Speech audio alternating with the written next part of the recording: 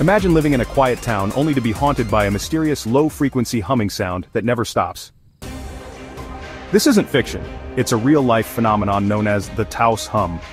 First reported in the 1990s in the small town of Taos, New Mexico, this unexplained noise has baffled scientists, researchers, and government agencies for decades. Locals describe the Taos hum as a persistent, low-frequency drone, similar to a distant engine or a deep throbbing sound. Some hear it only at night, others all day long, but the strangest part, not everyone can hear it. About 2% of the population can detect the sound, while others hear nothing. It has no clear source, no machinery, no geological activity, no known explanations.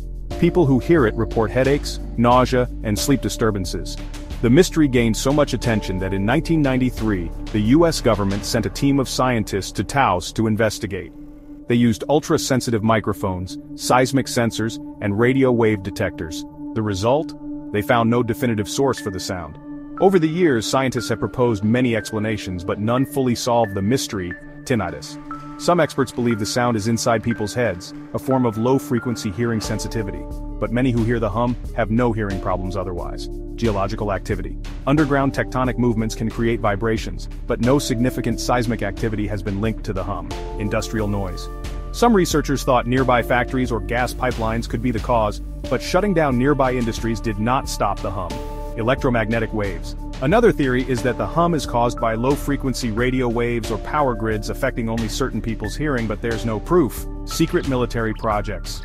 Some conspiracy theorists claim the sound is connected to classified government experiments like submarine communication or mind control tests, but no evidence supports this claim. What makes the mystery even stranger is that the Taos hum is not unique. Similar hums have been reported all over the world, including the Bristol hum in the United Kingdom, the Kokomo hum in Indiana, USA, and the Auckland hum in New Zealand. Each location has similar reports a mysterious low-frequency noise that some people hear while others don't. Despite decades of research the Taos hum remains a mystery. Scientists still can't explain what causes it, and those who hear it continue to suffer.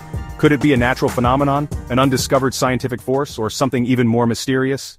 What do you think? Let us know in the comments.